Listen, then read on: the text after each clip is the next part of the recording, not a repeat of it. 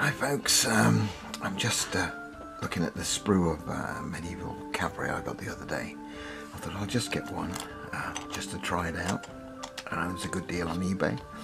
Um, it's four horses and uh, the rider sprue. Uh, now I plan to get, um, this is the uh, Perry's Agincourt mounted figures um, later in the year, probably Christmas time. They'll probably be prezzies.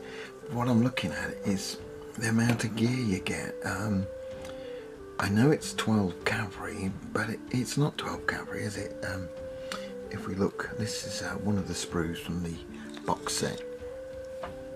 Now, apparently there are three of these sprues. Uh, you will only get the 12 horses. That's that's a fact.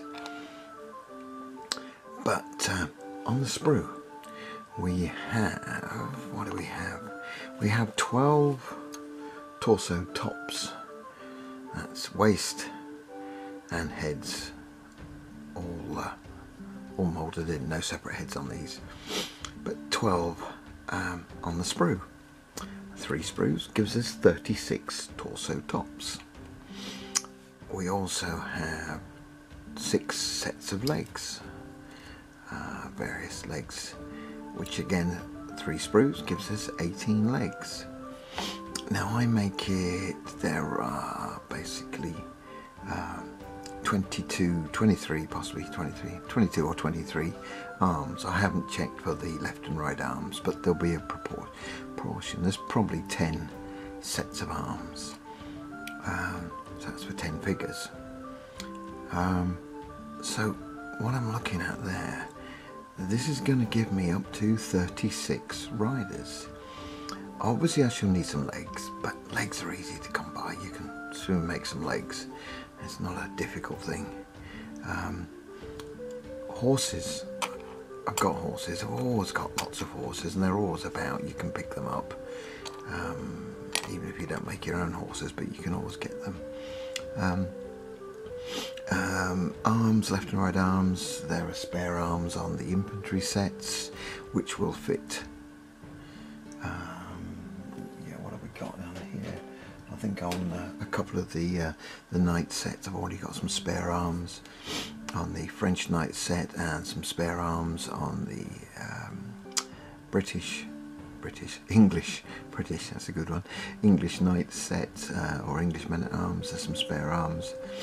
Plus, um, I tend to keep all of my spare arms from the Wars of the Roses or uh, Dark Ages sets, I suppose a lot of us do. But, uh, so what I'm getting at is from this set, I think there's 36 riders. Yes, I'll need to make some legs. That's not difficult or require some legs. Um, but with the body tops. The 12 man set is actually a 36 man set. Um, arms, as I say, will give us basically, uh, there's 10, 10 sets of arms on each sprue, so that gives us 30. So we've got 36 torso tops, uh, 30 arm sets, and 18 legs. So you will need another 18 sets of legs and a few extra arms. Uh, but again, if you keep your metal arms, uh, sorry, your plastic arms, um, you'll be able to keep yourself sorted out with figures. We've also got some spare heads up all the horses, a couple of spare heads, and um, we've got some chainmail, have we? Oh yes, some chainmail, so we'll have three bits of chainmail for the horses. Um, lots of heads for horses. I seem to have six lots of heads. Um, but yeah, there we go. Just fascinated by the amount of body parts for these um, medieval um, riders. So um, I'm maybe not needing to, uh, or maybe not needing to buy as many uh, box sets as I thought. I was going to get sort of two or three boxes at Christmas time to give me sort of 36. But if I'm getting 36 in a box, I'm only going to probably need one box. I'm thinking that will probably be enough. 36 riders, because obviously we're looking at mainly foot figures, aren't we? Um, not too many riders. Um, perhaps, I don't know, 12.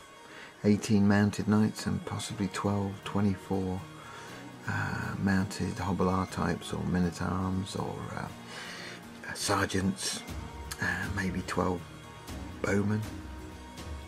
So one box, uh, possibly two boxes, but I think that's going to be a push as it is. Anyway, that's my uh, my mutterings on this on this set.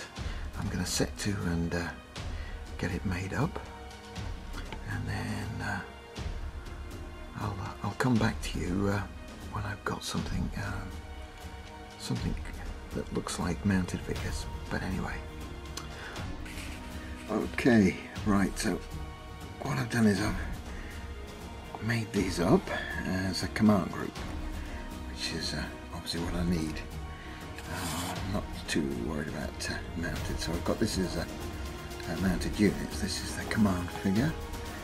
Give them one of the uh, halo things, whatever they call it, I forget now. Uh, the Oriole or something. Uh, we've got this guy, I've put his lance upright so he can be a standard bearer. And then we've got a second flamboyant looking uh, officer type. So that's what my plan is. Just uh, get back so we can have him there. This is the size of base they'll go on. We'll have the standard bearer there and the main commander figure just there. Excuse me. So, yep, that's what we're going. I'm going for. so I'm going to get those sorted and painted up. Um, yeah, and that's. This will be my first uh, War of the Roses proper command figure. So, uh, not War of the Roses, listen to me. um, 100 Years War, proper command figure.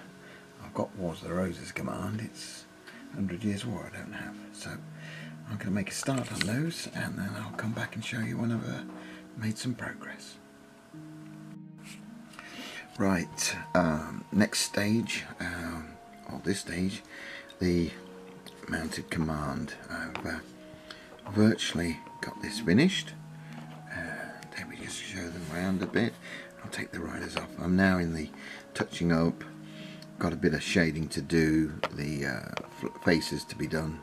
This one's got a closed helm and I've obviously got to paint his jupon. That's going to be red. And what we've got here with the leader pig again, bit of shading on the leatherwork at the bottom of his, oh, just below his belt. Um, and the face has got to be done. The horses, uh, I think virtually finished, or a bit of wash, a bit of black uh, what's it called? Brain's gone. What's it called? Dark tone, yeah. Bit of bit of dark tone on the silver because it's very silver on the um, the horse's sh uh, chamfron, is it? Chamfron, yeah. Headpiece. And this one, uh, same for him. And I'm going to do gold um, on the headpieces, the top there. I'm going to do those in gold. And then uh, the bridle uh, parts there just to be touched. Oh, and uh, some gold gold studs on the green horse trim. That's. That's what it'll look like when it's completed. I think it. Uh, nice horses, considering the plastic, have come out pretty good. Um, yeah, so a bit of the strapping on the back over the rump of the horse is a bit thin. That could have done with it being a bit more pronounced for painting wise, but uh, but overall they're okay. So uh, I've got some white to put on the fetlocks. As say, finish the uh, the figures. Just a few bits to finish. So I'm going to get that sorted.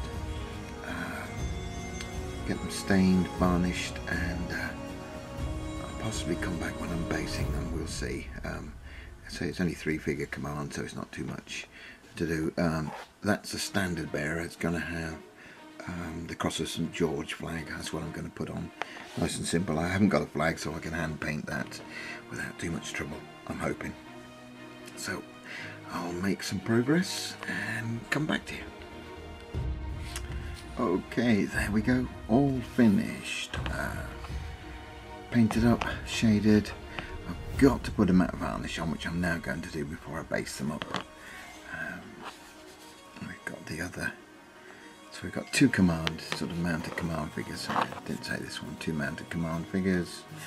And then we've got the St. George flag. As I didn't have any flags, so I thought I had to paint one up. Uh, there you go, because I wanted to get this finished and based up today. So, so I'm now going to get the matte varnished and then I should be basing them on uh, an MDF base. Uh, obviously taking off the two pieces that I hold them to paint on, but there we go. Uh, so I'll get that in and uh, come back to you when I'm finished. Right, here we go. It's all finished. Uh, the command group I've been working on. It's finished, painted up, varnished. And I've just put some food tubs on just to brighten up a bit on the base. Uh, yeah, actually nice and easy, wasn't difficult. Um, this is my first one for my new 100 Years War Army. It's just a generic command figure. I'll need three commands mounted, one for each battle.